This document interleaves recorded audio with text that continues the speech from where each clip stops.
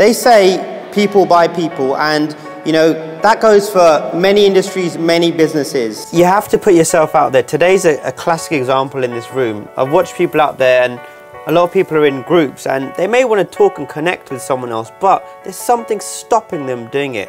I call that fear. The future is collaboration. Anyone who Yeah. thinks they can go far on their own, you know, I think is slightly naive. Don't hire people in your image, right?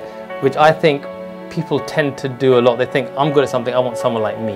No one wants somebody who is just good at everything. They want someone who is remarkable at one thing. Often it's not the most kind of talented people that, that make it in life. It's often, you know, a combination of hard work, persistence, energy, effort, thick skin. I think what it requires is it requires time. You need to put your time into it to nurture the relationship. So whatever you put in, you're going to get out. And too many times people are looking at a relationship wanting before they've given.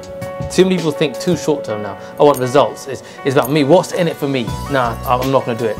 They take stuff too, too much to heart without fully trying to understand what the other person's really about. See, it's that sense that you're working towards something of real value, something that is tangible, something that can add value to people. That's what you need to have in your mind.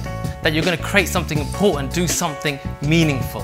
When you team up with someone else, you're getting more than a partner. You're, you're, you're getting a piece of them inside you permanently. You're getting someone to watch your back, you know. And, and if you have that, and if you have that mentality, it honestly empowers you. Go home and ask yourself this one question What impact did I have on everyone today? I want you to ask yourself, how did I make people feel?